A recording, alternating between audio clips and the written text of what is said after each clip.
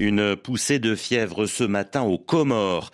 Quelques heures après l'annonce par la commission électorale de la victoire d'Azali Assoumani à la, à la présidentielle, des mouvements de protestation ont éclaté dans plusieurs quartiers de la capitale.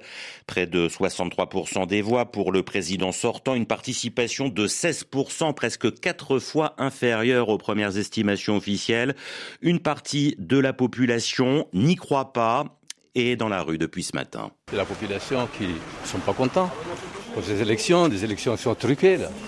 C'est des mascarades, c'est tout. Hein. Il y avait des élections ici au Comores. Le président Azali Assoumani a pris les votes. C'est pour cela qu'on descend dans la rue. Mais le peuple ne veut pas aller. Je vois que vous vous bouchez le nez. Parce que euh, c'était crimogène. Des tirs lacrymogènes? Oui, oui, oui. Surtout place indépendance. Jusqu'au bout, jusqu'au bout, Azali, il faut dégager. Voilà, ambiance ce matin à Moroni. David Bachet, vous êtes l'envoyé spécial de RFI dans la capitale comorienne. Quelle est la situation à l'heure actuelle? Écoutez, globalement, les rues sont désertes, très peu de circulation, très peu de passants et beaucoup de militaires, gendarmes et policiers qui quadrillent la ville. Et puis des incidents éclatent ponctuellement à différents points de la ville. C'était le cas ce matin près du grand marché de Volo-Volo, de la place de l'Indépendance, ou encore à Iconi, une localité collée à Moroni. J'étais il y a quelques minutes dans le quartier d'Amramba, dans le sud de Moroni, où j'ai vu des dizaines de jeunes surchauffés, pierres à la main, euh, jeter ses, cailloux sur les militaires en criant qu'ils ne voulaient plus d'Azali Assoumani. Euh, par endroits, euh, des pneus en feu ou des barricades de branches bloquent les routes.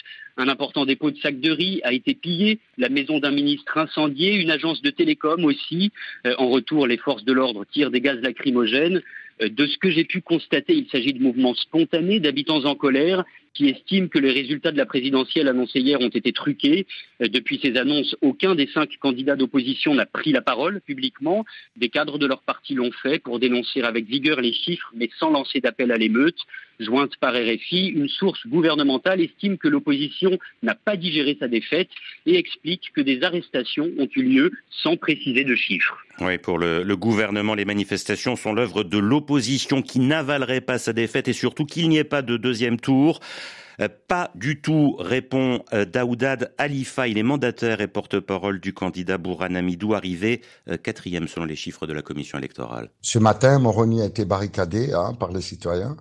Ce n'est pas un mouvement organisé pour le moment par la stratégie de l'opposition, mais c'est un mouvement spontané de la population et de la jeunesse en particulier. Ce n'est pas une élection qui a eu. C'est un bourrage d'urnes qui a vraiment débordé euh, même les urnes. Ce sont des résultats euh, qui ont été façonnés dans un salon et qu'on vient exposer au peuple comorien. Et donc, euh, les, citoyens sont déterminés à défendre pour faire annuler ces élections parce que ce n'était pas un scrutin au sens des standards internationaux. Nous appelons à la communauté internationale de ne pas reconnaître euh, l'élection d'Azali, cette mascarade, parce que c'est vraiment une pagaille électorale organisée. Daoud Alifa au micro d'Abdallah Zambaba. David Bachet, euh, si les cinq candidats d'opposition n'ont pas parlé, ils ont publié un communiqué conjoint dans lequel ils demandent l'annulation pure et simple du scrutin. Effectivement, ils se disent horrifiés de constater que le nombre de votants pour les trois îles, euh, pour les élections des gouverneurs, diverge des votants à celui de l'élection présidentielle, passant de près de 190 000 à un peu plus de 55 000 selon les chiffres annoncés hier par la CENI, alors que les deux scrutins étaient couplés. Ils avaient lieu en même temps. Cela montre, selon les cinq opposants, le côté arbitraire et sans fondement des chiffres officiels.